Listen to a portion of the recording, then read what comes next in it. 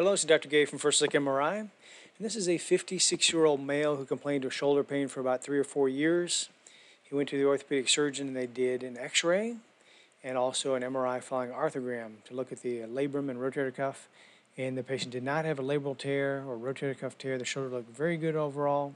Here's some fluid in the shoulder joint here inferiorly. You can tell that's an arthrogram. There's contrast in fluid distending the joint.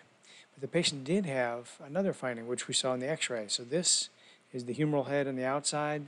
This is the joint right here. This is the glenoid, humeral head, shoulder joint. And we see an area of low density, lucency we call it, in the uh, humeral head. It has sharply defined margins that are just mildly sclerotic. It goes along with a benign bone lesion.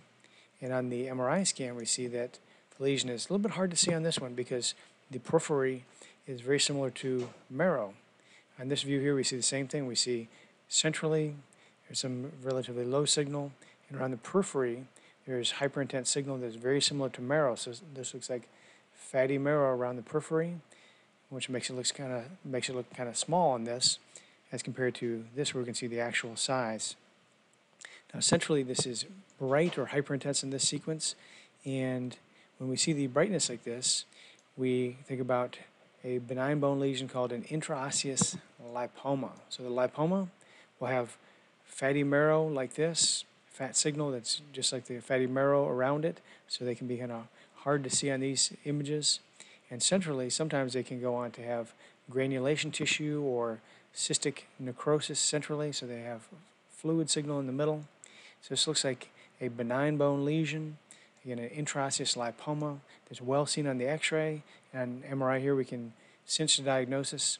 And just on x-ray alone, we might think this could be a benign bone cyst or some other lesion, but here we can see that it does have fatty marrow around the periphery, and it does have this uh, hyperintense signal centrally, which is classic for, again, granulation tissue or cystic change associated with an intraosseous lipoma.